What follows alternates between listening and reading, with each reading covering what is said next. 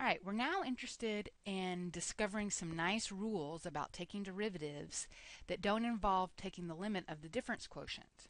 This will make taking derivatives faster for us so that we can look at some really interesting problems. The first one that we're going to look at is the derivative of the constant function.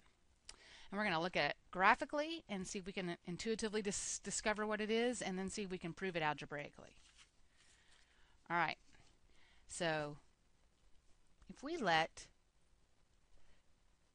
f of x equals c be my constant function for c any real number, then what does that look like graphically?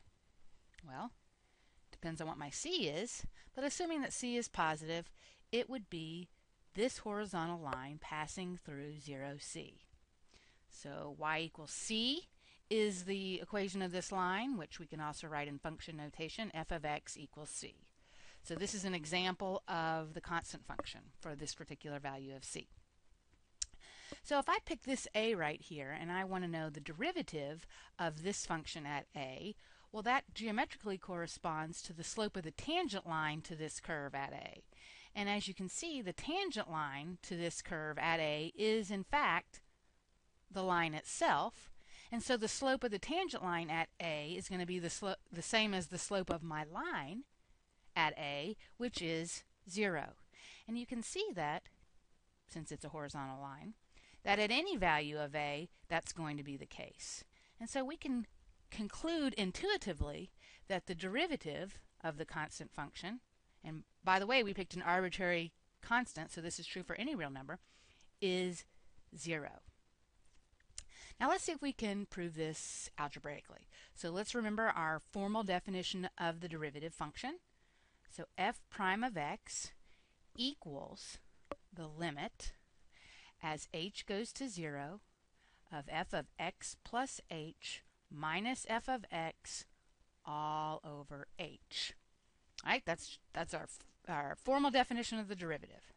All right, so in this case, our function is c, which means for any value of x, out comes c, which means if I plug in x plus h, out comes c.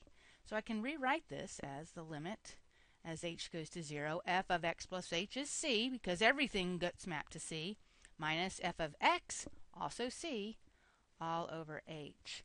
And we see before we even take the limit that that's 0 over h, which is 0.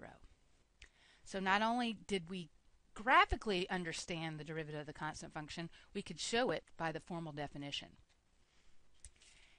And so we can conclude that the derivative of the constant function is 0. Now, if I said f of x equals 2, what's the derivative? You would say, well, that's a constant, so that derivative is 0. If I were to say f of x equals the square root of 2, you would say, ah, the square root of 2 is also just a constant. It's also 0. What if I said find the derivative of e to the pi? Here you might pause, but remember, e is a constant and pi is a constant, so e to the pi is a constant, and its derivative is also 0.